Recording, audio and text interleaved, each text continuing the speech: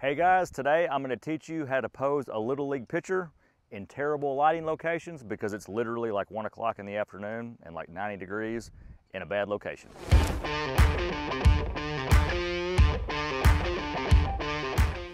So I'm actually going to start with my 70-200, which I changed the lens in the car before I came out just to reduce the, any chance of getting sensor dust in here. Um, I have this that Sony a7R5, which does have it, it, shuts the, the shutter whenever you turn the camera off so that reduces the risk of getting dust in here, but still I don't want to chance it because it's windy. I've had that happen before, not a good situation. So you want to try to avoid that by changing it in a, inside if at all possible where there's no dust and wind, that kind of thing. So we're going to start out with 70-200 like I said first. I'm going to get some tight stuff of him in the stretch probably, getting the sign from the catcher, coming set, that kind of thing. Maybe, and maybe actually before that we'll have some like tossing the ball up, holding the ball out, basic stuff. Then more action type pose stuff and then the actual action at the very end. So the, so the first thing we want to do is expose for our background, which I always talk about. So you want to shoot from the, you want to light from the back up. So I want to expose for the background first with the lights on, which you can't always get the lights on. If you can't get them on, I don't like having them in the background because it it's just like as a black pole whenever it's bright outside and you're underexposing the sky with no detail. But when they're on, it gives you another element. And we can actually use practical lighting in this situation because we have two lights. We have two FJ400s, one with the silver beauty dish, Joel Grimes beauty dish, which is 24 inches. The other one with a deep focus reflector. We And we have those high, highly reflective modifiers. So, and they're, they're pretty directional. I've got the diffusion off the beauty dish because I want to get the highest output possible because we want exposed for the background, which is going to make, so because it's one o'clock and it's, it's cloudy, but there's no clouds over the sun. So it's going to be really bright. So we're going to have to darken that sky down. And we do that by increasing our shutter speed and our f-stop by using high-speed sync. So when you do that, you're going to need a lot of, of, of, light output to counteract that so you can light your subject up. So expose for the background first, which I've already done. I took a picture um, of him with just with nothing turned on I'm gonna go ahead and do that again real quick so that everybody can see. So I'm gonna put both my lights to sleep. I've got the FJ X3S remote here so I can control all my lights from it. So I'm just gonna have him stand there. He doesn't have to do anything. I just wanna get him just framed up generally how I'm gonna have him for these tight shots. And okay. And I've got the light behind him right there, which is gonna be one of my setups just for the basic poses at the beginning. So my camera right now is reading minus two on the, on the metering. So that means that I'm two stops underexposed. And my settings are 1 4 thousandth of a second, f5.6, ISO 100. So I'm gonna take a picture without the lights on, see what we look like. So I always, I don't always, but a lot of times I will have I will have the subject turn away from the sun so it's behind them and backlighting them. Even if it's the middle of the day like this, I'll get it as behind them as possible. But in this situation, we can't really do anything about that because the pitcher's mound is where the pitcher's mound is, right? So we can't move it. So the sun is pretty, it's directly overhead, but it's a little bit camera left right now. But because he's got a hat on, it's not making any kind of weird shadows on his face or anything. When he's looking straight, his hat's making a shadow over his whole face from the front right there. So, which is pretty good because I want, I want his face to be lit as evenly as possible. So we've got the light to his left. He's right-handed. So right now I've got the light to his left, so I've got the edge light to his left. So when I turn that on, that edge light, I'm using practical lighting to, to, for that to look like that is the stadium light lighting his back camera right, his back left side. And the beauty dish will light the other side, mimicking the sun. So that's kind of, your brain may not, people may look at that and not realize exactly what I'm doing, but their brains, it's gonna register there's light behind him, there's light, so I've got a light coming from the same side that's actually lighting him and the sun's the same thing. So it's gonna make sense even if people don't really realize what's going on. And that's what you wanna do is, you know, if a trained eye looks at this and sees it, they're gonna know what's, what I did, but the average person's gonna look like it's, it's gonna, it, their brain's gonna tell them it's lit the right way. Okay, so we're gonna take a shot of that first. And then I'm gonna, I'm gonna start with the background light on first. So I've got it set to group B. They're both on channel 11. Group B, I've got high speed sync turned on, which allows me to raise my shutter speed up past the camera's sync speed so that I can darken the background down and underexpose because normally you couldn't do that with regular mode. You have to turn on high speed sync, you have to have a strobe that will do that. I've got another video on that and I'll link that down below in the, in the, in the description so that you can watch that if you want to under, understand better how to use high-speed sync and what it actually is. So we're going to turn that light on first. So we're going to start, like I said, with the background, then the edge light. I've got it set to full power just from experience. I know that it, we're going to need full power because it's so bright out here. It's probably, I would say, six or seven feet behind him. So another test shot, so that looks good. That's about 45 degrees behind him. And then lastly, we're gonna turn the main light on. And it's on a set, it's set to a power of nine also, which these lights have nine stops of power, so it's full power. This is a beauty dish. It's not gonna be quite as bright as that deep focus reflector because the light's not as concentrated, but we took the diffusion off because with the diffusion on, it wouldn't be quite bright enough. So now let's take a picture with that on too. Okay, now turn, turn towards the camera, turn towards your mom. Okay, turn your feet that way too. You can take them off the rubber if you have to. Now hold the ball out straight at me. There you go, move this way a little bit, good. Come back just a little bit. Put the glove like on your leg. Yeah, there you go, good, right there. Head out again, good.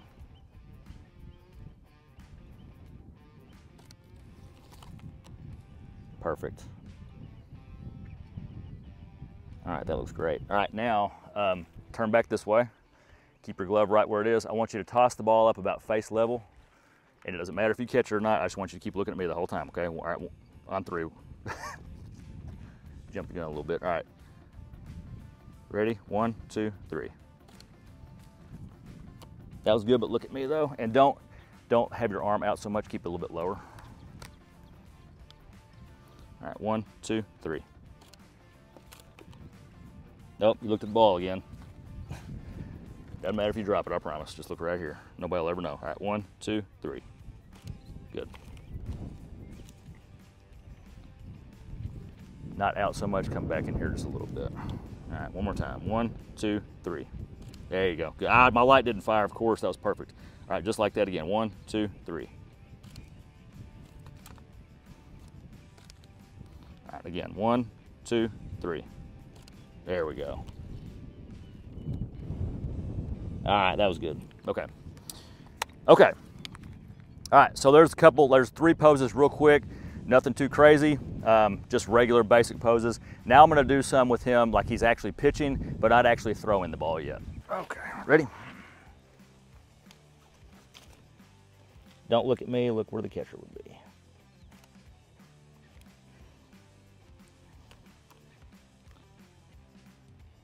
Pull your head out a little bit. You're sinking it back just a little bit. There you go. Good. Don't move.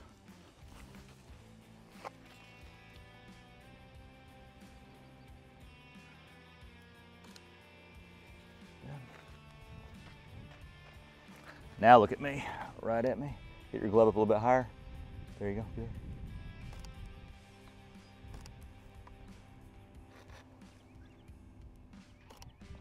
Pull your head out. Good. Yeah, okay. Okay, now get the stretch and do the same thing. Perfect. Yep, look right down there.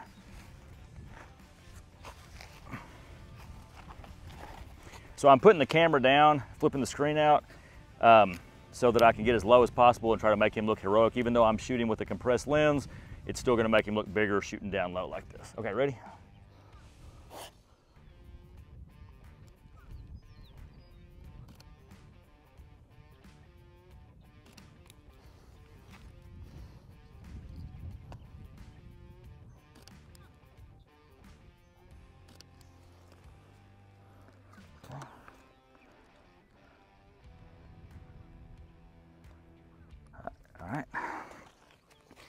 Front again. Look directly at me one more time.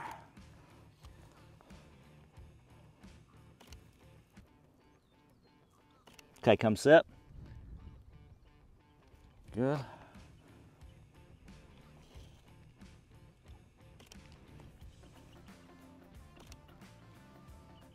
And give me your leg kick. Perfect, good. Okay, so now I'm gonna switch to my deep focus because we're getting more towards like the action shot portion. That's gonna allow me to back the light up a little bit more and get a little bit more power because it's gonna concentrate it more. Okay.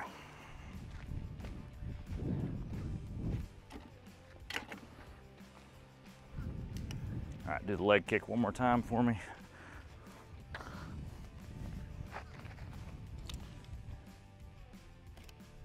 Put it down. All right, go put your leg down. All right, go up on three. One, two, three. Good. One, two, three. Don't bite your lip though. One, put it down. One, two, three. Good. Okay.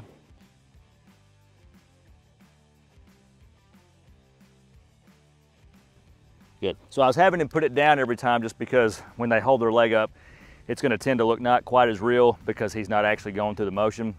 So setting it down and picking it back up helps. All right, now I'm gonna take some, do that one more time from this angle. And then, which the background isn't quite as good over here. We've got a car and a dugout back here. So we've got like the concession stand. So you've got to be aware of all that. So there is like a, a one building and like a big trash can back here. I'm gonna try to block those with his body as much as I can. Okay, all right, leg kick again. Well, go ahead and put it down real quick. I'll count. One, two, three. Look at that, look at the, pit, uh, the catcher though. One, two, put it down. One, two, three. Good. There we go. One more time. One, two, three. Okay, good. Okay, those were all good. Now I'm gonna switch to my wide angle and we're actually gonna, we're gonna take the, the sequence right before the action and then I'm gonna actually get him throwing. I'm gonna set my camera to shoot high speed continuous so I can get an entire sequence of him pitching natural light just so I see the way that he throws. Because every athlete's gonna be different. What, even if it's the same thing like pitching a baseball, they're gonna have different release points, their bodies are gonna move different, they're gonna have different windups, leg kicks, all kinds of stuff.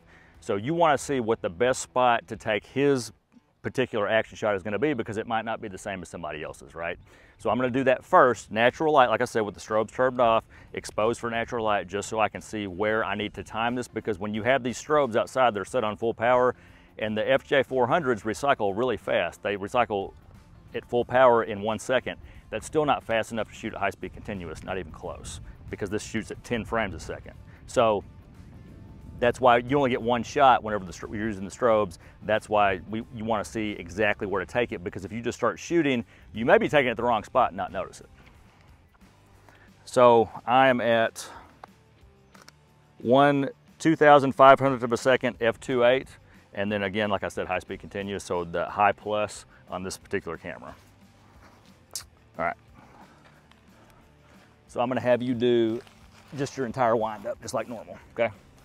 All right, don't go just yet. All right, so I'm gonna put the camera all the way on the ground, just like I'm gonna do when I take the real picture here in a minute with the strobes. All right, whenever you're ready, go ahead, Camden.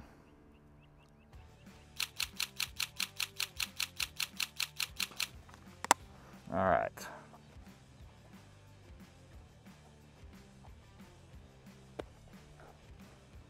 Okay, so by doing that, I also realized that my lights are probably in the wrong place because I've got that air conditioning repairman back there and those buildings. So I'm gonna, I can't have the light in front of him, obviously. So I'm gonna move it. I had it to the right of him when he was releasing, so I'm gonna move it to the left side now. And you want these lights, this is cross lighting, so I try to have them exactly opposite each other most of the time for an action shot like this, because that creates more shadows in between, which makes look, the picture look more three-dimensional.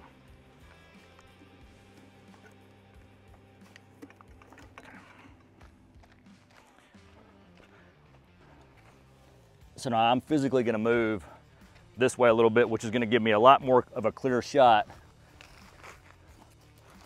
behind him for a background. All right, ready? All right, go ahead whenever you're ready.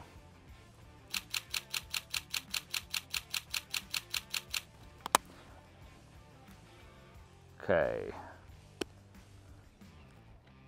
Much better, all right. So it looks like we're in the right spot. So let's go ahead and turn the lights on. All right, so let me take this off high-speed continuous. I'm gonna go back to my strobes, how I had them exposed. So I'm at 1 4000th f5.6 ISO 100, flash white balance. Let's take a, a test shot real quick. So I, I, switched my, my 24 to 70 also. I'm not sure if I said that. And I'm gonna be probably pretty close to 24 millimeters. I want this to be wider and down as low as possible to make it look, to make him look heroic and as big as possible. Let me take a test shot. Would help if I turn my strobes on. Okay.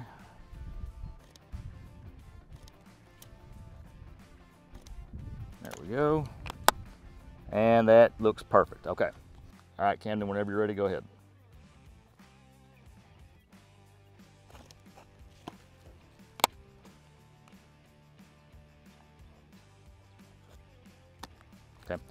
Go again. Go ahead.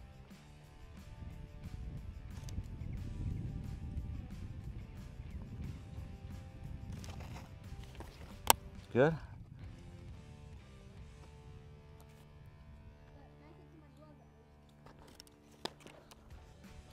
Oh, that was good. All right. All right, so that does it. I think you can probably tell by the by the screenshots. We put the settings up there. I lowered the settings at the end and the reason was because the sun was actually going behind the clouds. When the sun's out, it helps you a little bit with fill light, makes everything a little bit brighter. But when it went behind the clouds, I had to lower my shutter speed and my f-stop a little bit to compensate for that to make sure that my athlete was bright enough. So you really have to pay attention to that. Whenever you're shooting, your exposure can change depending on what the sun's doing when you're shooting in the middle of the day like this. So I hope you guys all enjoyed the video. If you did, I'd appreciate it if you'd like it. You can hit that little bell so you get notified whenever I post new videos. There's gonna be a lot more to come. So we'll see you again next time.